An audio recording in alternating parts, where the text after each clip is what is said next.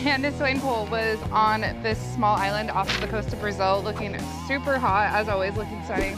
What you can't really tell in this picture is she is pregnant. It's She- so crazy. She announced over the weekend off of Instagram, she said Christmas came early this year with the angel emoji baby number two. I don't understand that pregnancy announcement photo. The pregnancy announcement photo, which she released like six hours after we got the photos of her on the beach. In the photos on the beach, she has a little bit of a pooch.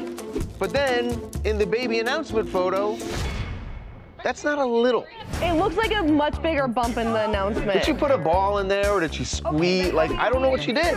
You can tell in this picture that she's pregnant. No woman stands like this at the beach in their bathing suit. I know, that is an awful pose. That's probably why she announced. She was like, oh, that photo is out. Time to tell everyone